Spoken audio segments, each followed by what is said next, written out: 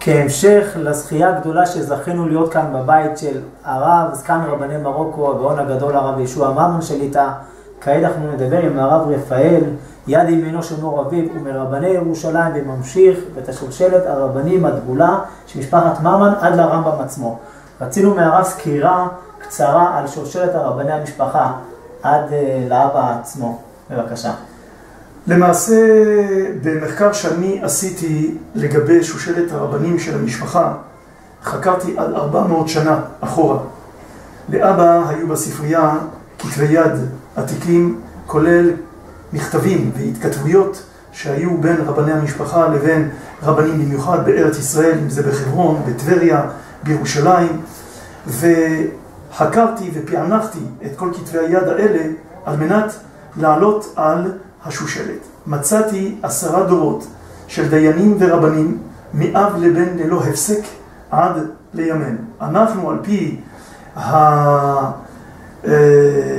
המסורת המשפחתית, אנחנו בעצם צאצאי הרמב"ם, ממן בא ממימון, ולא זו בלבד, אלא גם בכתובות העתיקות שלנו היו חותמים בן ממן ולא ממן בלבד, נגזרת של בן מימון.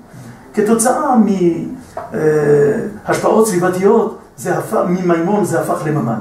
אבל על פי המסורת המשפחתית אנחנו צאצאי הרמב"ם, וכך בעצם גם אצל ותיקי משפחת ממן, ובכלל, ותיקי הרבנים והחכמים של טבריה וצפת, ידוע להם שמשפחת ממן הם צאצאי הרמב"ם. הספר שכתבתי בשם עמרם, הוא בעצם ספר שמתאר את כל שושלת הרבנים,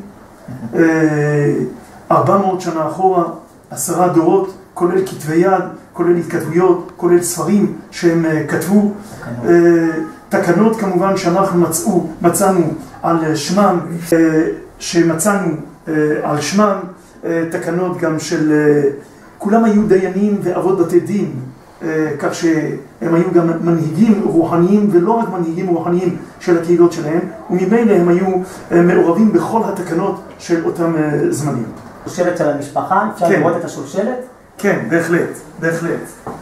זאת בעצם שושלת, השושלת של המשפחה, נכון להיום, משולבים עם כל התמונות של כל הנכדים והנינים.